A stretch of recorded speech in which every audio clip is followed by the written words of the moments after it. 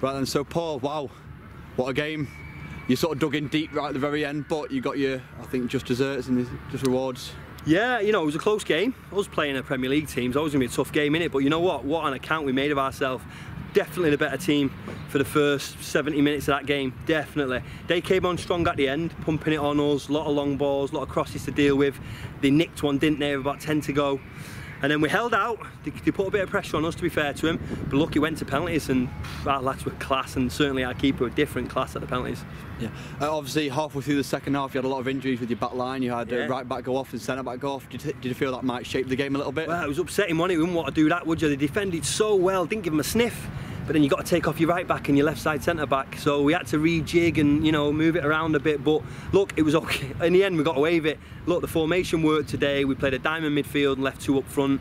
We got Marcelo in from the start. We gambled on him today and he scored a worldie. So look, we couldn't have painted that picture any better than it happened today. It must have been a dream start when Marcelo, after three minutes, sort of popped in the top corner and. Mm -hmm you must have thought it might have been like an early setback for you and maybe like they're going to put a lot of pressure on but well I thought going. yeah I thought we might have to dig in and maybe we'll nick a goal on the break or something but it didn't work out that we're on top on top the whole half strong some good progressive play through midfield creating chances and yeah Marcelo got his goal that's what the guy's capable of it's a good job he did it as well yeah. obviously that's a final now for you guys which is for yeah. fantastic for your first season as a football club back after a few yeah. number of years being out um, i suppose you're really looking forward to that now, and that's main focus, maybe, is it? Or yeah, absolutely. Look, I was trying to say to him there. Look, massive game on Tuesday, Upper Mill away. Look, we're still in a shout to get fourth in this league and be promoted, but it'll be tough. But we're still in the hat. If we play, if we play how we did today, we'll win every game to now the end of this season. But look, realistically, a good fourth, fifth finish and a cup final is tremendous for us. Look, we'll play against another Premier League team in a final. I don't know, probably on lights, on you know, in, in a big cup final, and we'll all very much look forward to that, and I, I can't wait for it. Okay, um, I think I know what the answer is going to be to this, but who's your man of the match?